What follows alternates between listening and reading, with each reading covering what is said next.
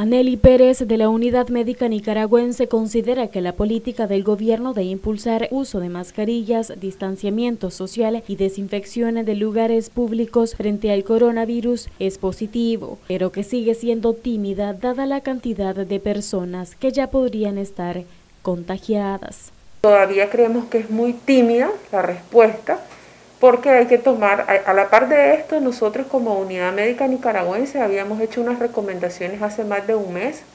De hecho, el 23 de marzo habíamos hecho las primeras propuestas de las recomendaciones donde hablábamos de esas medidas y obviamente ha pasado un mes y algo y ya con ese mes y algo ya tenemos una mayor cantidad de población eh, expuesta, probablemente infectada, aunque todo el mundo Oficialmente solo conocemos de 13 casos, pero sabemos que extraoficialmente hay mayor cantidad de casos. Entonces, ¿qué es lo que, qué es lo que sucedió? Si estas medidas las hubieran tomado un mes antes, probablemente la diseminación hubiera sido menor a la que nos estamos enfrentando en este momento.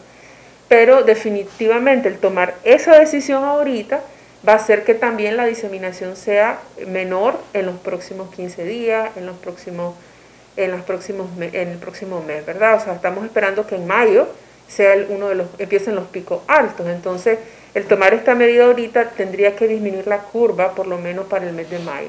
De igual manera, la doctora Pérez recomienda que es momento de iniciar a aplicar medidas de aislamiento social. ¿Y cómo comienzan las medidas de aislamiento social? El suspender las clases, eh, eso debería ser una medida para tomarse ahorita, el suspensión de clases en, lo que es primaria, secundaria y universidad.